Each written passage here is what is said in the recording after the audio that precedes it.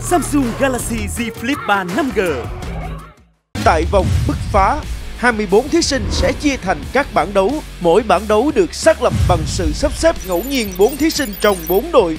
Các thí sinh trong bảng sẽ cùng được giao một chủ đề để sáng tác và hình thành nên tác phẩm rap của riêng mình. Kết thúc bảng đấu, các huấn luyện viên và giám khảo sẽ tiến hành bình chọn cho một thí sinh mà họ cảm thấy có phần trình diễn ấn tượng nhất. Huấn luyện viên sẽ không được bình chọn cho thí sinh của đội mình.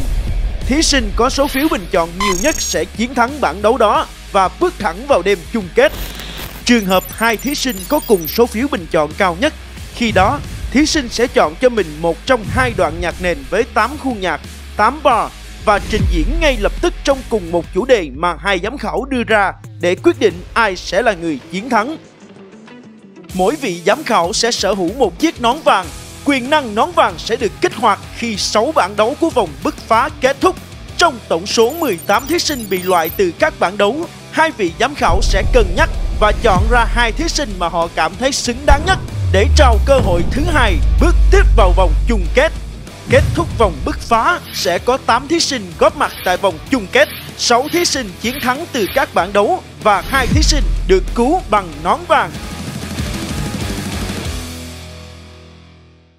Bình chọn ngay cho rapper bạn yêu thích của tuần để có cơ hội trúng giải thưởng giá trị đến từ Samsung và các phần quà hấp dẫn.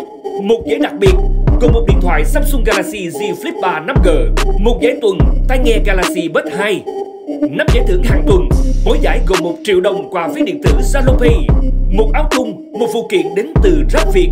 Hãy bình chọn bằng cách tải ứng dụng Fion, nhấn vào nút bình chọn Rap Việt 2021 bắt đầu bình chọn thí sinh bạn yêu thích nhất trong tuần và dự đoán số lượng bình chọn giống bạn. Đừng quên đăng ký ngày ví điện tử Zalo Pay để nhận ưu đãi 1 triệu đồng và mua gói VIP chỉ với 19.000 đồng. Cổng bình chọn được mở vào 22 giờ 30 phút thứ bảy hàng tuần. Hãy tham gia ngay! Samsung Galaxy Z Flip 3 5G Samsung Galaxy Z Flip 3 5G